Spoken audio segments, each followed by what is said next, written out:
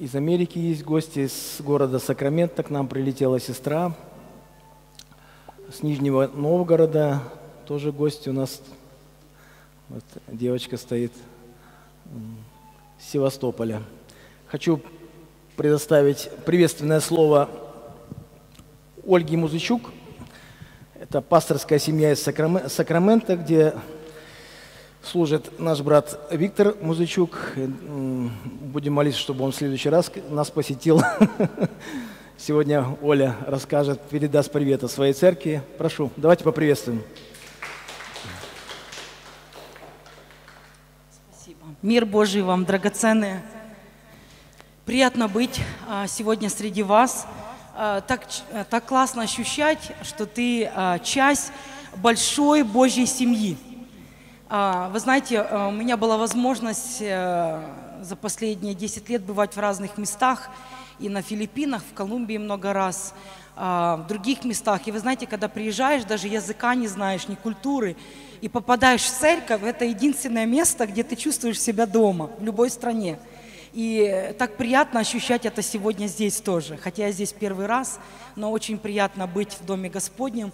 И когда идет поклонение, а, идет молитва, ты чувствуешь, что ты принадлежишь а, этому народу, народу Божьему. Аминь. И я сегодня передаю вам привет а, из города Сакраменто. Это штат Калифорния. Сакраменто – это как бы не очень, может быть, большой город, его не все знают, но он является столицей Калифорнии.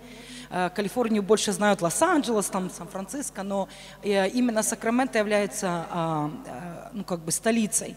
А у нас там больше двух миллионов людей, среди них а, около 300 тысяч славян, которые переехали с разных частей мира, переехали туда. И мы были миссионером с мужем. Я вышла очень рано замуж, и поэтому а, сегодня у меня уже взрослые дети, ну как взрослые, для меня взрослые, у меня четверо детей, старшему сыну 24 года, а, ему, э, его зовут Давид, я его родила, когда мне было 20 лет, сама еще молодая была, вообще такая молодая. Сейчас думаю, ну вот, что я думала, не знаю, выходя замуж в 17 лет, слава Богу, что мне повезло, что у меня муж был э, и есть старше меня, можно сказать, воспитывал меня для того, чтобы я стала ему действительно равной женой. И, а, и так Бог нам подарил четверо детей, старший сын, потом дочка 21, 21 а, год, будет вот 22 летом, и младшие, а, младшие 16 э, лет девочка Джойс, что означает радость, и последний младший мальчик Джашуа. Ему 15 лет, он замечательный барабанщик. Музыка у нас днем и ночью – гремит. У нас дома настоящие барабаны, поэтому слушает не только я, вся улица. Когда он начинает заниматься, он правда очень любит и помазан Богом на это. И нас Бог призвал в служение. И с ранних лет я услышала зов Божий. Я выросла в христианской семье. У меня есть одна-две минуты. Могу я рассказать свидетельство? А, я увидела, насколько чудо наш Господь и как Каждого из нас Он любит по-своему. Я выросла в христианской семье, и вообще у меня очень интересная история – потому что мои э, прадедушка и бабушка, они покаялись, когда приехали миссионеры из Америки э, в Аранаев, и он приехал и проводил первое служение. Я не знаю вообще, кто из вас знаком с историей, может быть, многие из вас, ну, новообращенные люди, вы не знаете этой истории, но это были первые миссионеры, которые приехали с, с Азуза-стрит, и мои прабабушка и прадедушка, они покаялись и стали евангелистами. И они ездили в разные города и разные селения, проповедовали. Потом позже их, естественно, поймали, посадили в тюрьму, они отсидели за Евангелие. И э, почему это важно, почему я это рассказываю? Потом прошло время, я выросла в христианской семье. Естественно, наш род был благословен. И э, мое возрастание, оно было в гонимой церкви. То есть в нашем доме проходили служения, когда э, нужно было все закрывать, прятаться, потому что вылавливали, давали штрафы. Э, в школе меня обзывали там штунда и все такое, знаете. И у меня был такой осадок. Я знала о Боге, но я не знала его лично. То есть, когда ты растешь в христианской семье, это еще не означает, что ты будешь верующим. То есть, должен произойти этот момент возрождения.